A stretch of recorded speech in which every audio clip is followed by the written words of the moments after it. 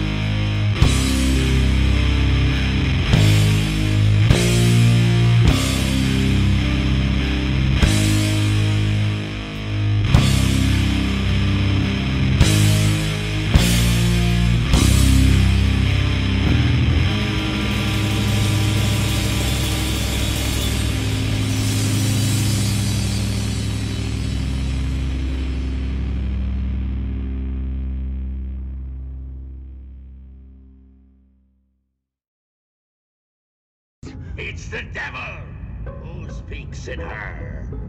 She's a witch and speaks Satan's words in this holy place.